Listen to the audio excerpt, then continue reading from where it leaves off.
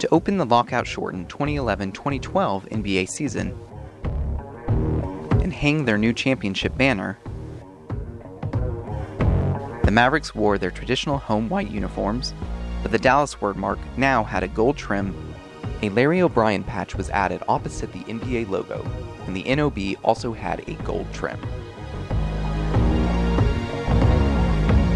The team unveiled a new alternate uniform as well. Still based on the Diddy version, these uniforms are returned midnight blue to the base and royal blue to the sides.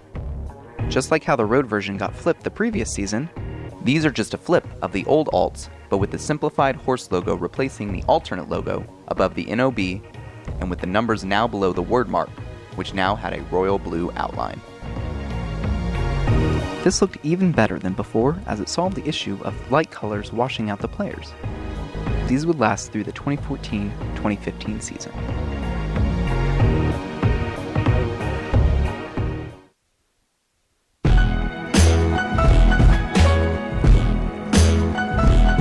For the 2012 2013 season, Adidas introduced new jerseys for each team to coincide with the annual games played Christmas Day. Their first theme was Big Color. Dallas had a uniform produced, but did not play in them. The jersey was the traditional design of the Mavs unis, but used a silver base replacing all the colors, and outlined the word mark, numbers, NOBs, and the star on the back of the jersey in royal blue.